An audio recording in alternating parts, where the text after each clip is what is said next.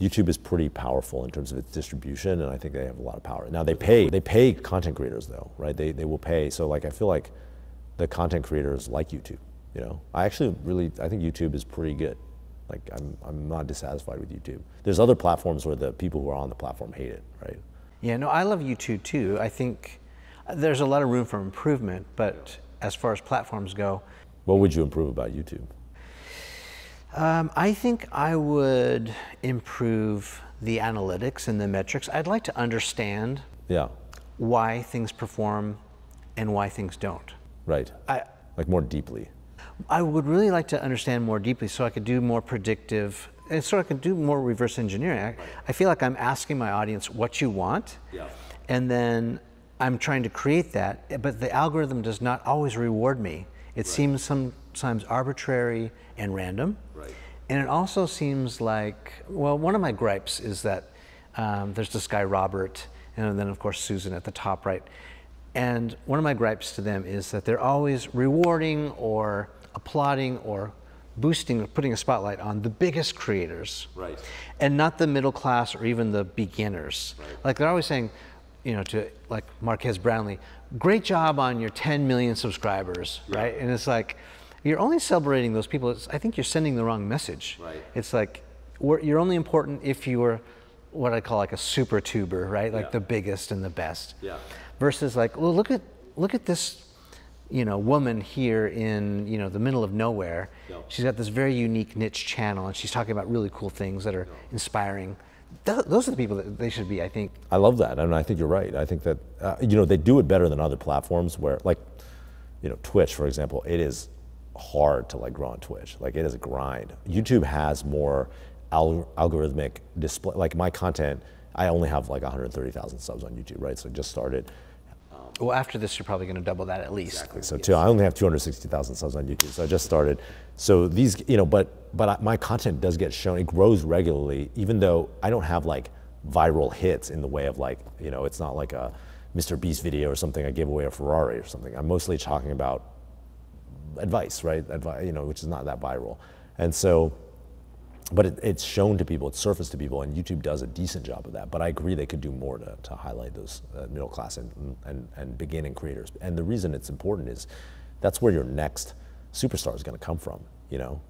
It's kind of like the same thing as Y Combinator, where you're like trying to find young companies started by like two kids out of a garage. It's like that's going to be the next Reddit, Dropbox, Airbnb, yeah. Twitch.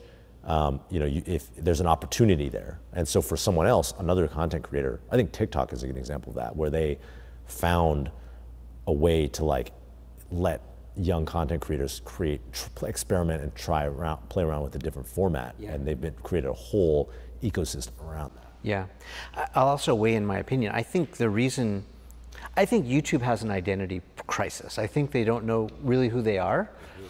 Uh, I think I know, at least the signals to me, I get an idea of who I think they want to be. Yeah. And they failed at it every single time. So, like in my opinion, I see them every few years trying to make the leap to Hollywood. Right, right, right. Or at least to create a bridge. Yeah.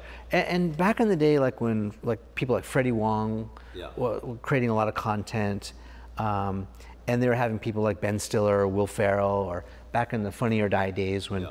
that stuff was coming over to YouTube there was this bridge. You could kind of see things were happening, but then, you know, Hollywood continued to kind of look down their nose at YouTube. Yeah.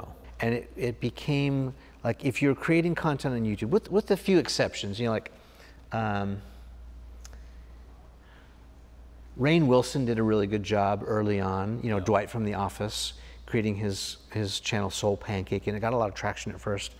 And he was, you know, one of the Hollywood you know, popular guys trying to, to do a lot from, you know, the traditional to non-traditional. And then I think the dream was to cross-pollinate, to have the YouTube stars be on TV yeah. and then the TV stars be on YouTube. But it just has never materialized. Way, right? I think that that's because YouTube, it's ironic, but I see this a lot with other big, big companies or is, even startups, is like they're in the mindset of the old model, right? They're like success is, it's competitive with TV And so, what does TV look like? And they've tried that in these, like you said, different ways, right? Like first, YouTube, you know, first they were trying to, I think they got a deal with like to put TV on YouTube, and then they have YouTube TV, which is very confusing, and then they have like YouTube Originals, which is like, can we make TV out of YouTube people, right? right. And charge for it. And what I think is much more interesting is the people who couldn't exist on TV, but they can exist on YouTube.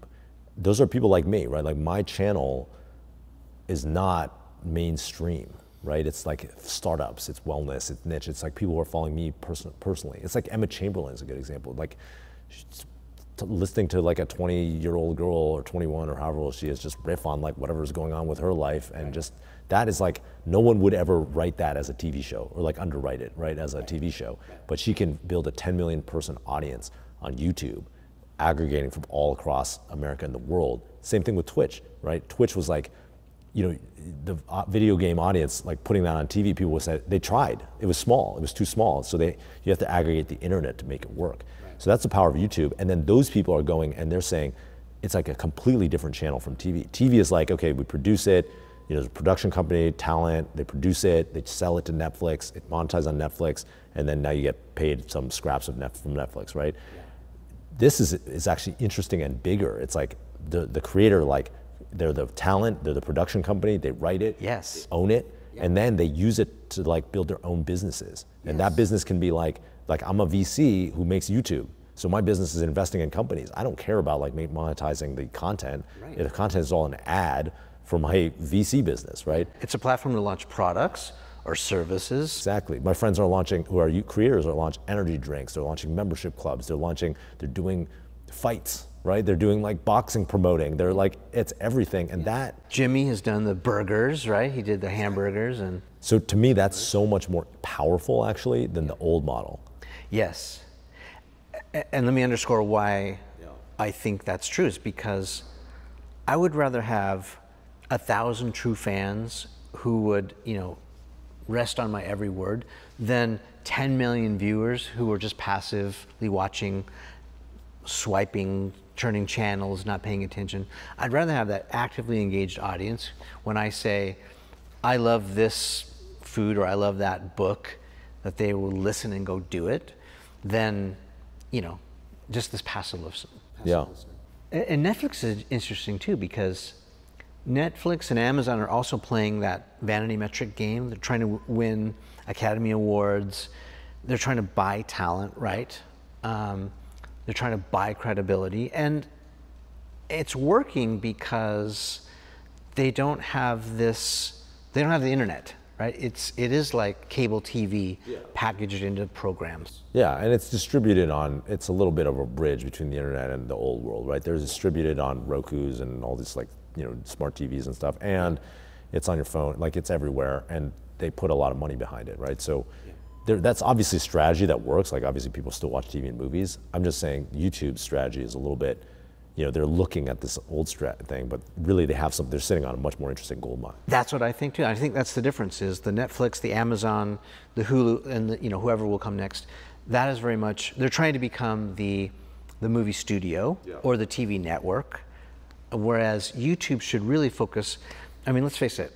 It's probably the 80-20 rule in play, right? Like 80% of the revenue probably comes from 20% of the creators. Yeah. But if YouTube would really understand their identity and, and focus on the 80% of those creators yeah. with all that potential and help help them grow, whether it's give them better metrics or better understanding or help them, you know, connect. I yeah. think there's a big um, missed opportunity to connect people. It's so hard to collaborate on YouTube.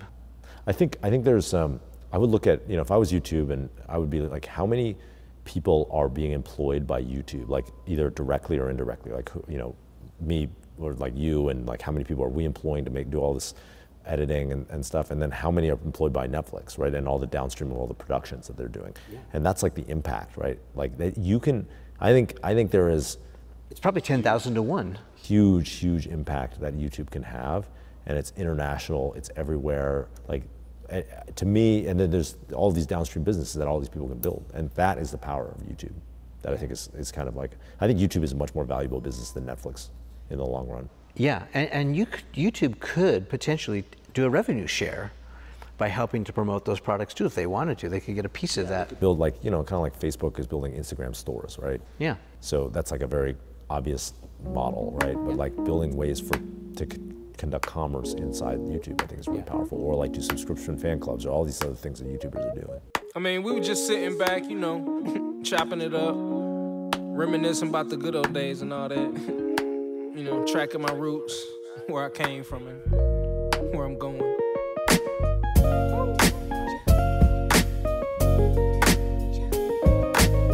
But like I say, man, always said it. It's not about the destination. It's all about the journey. Ain't nothing changed but the weather. The dangling carrot that hang from the rear view. Uh-huh. Your dreams in the past ain't nowhere near you. Backseat drivers got nothing but two cents. Shotgun riders too biased, they all liars. I should get an A for effort, I'm too tired. But I'm never giving up, that's why I'm kinda admired. Role model, like it or not, I gotta play it. Sugarcoat the rhyme sometimes, but still say it.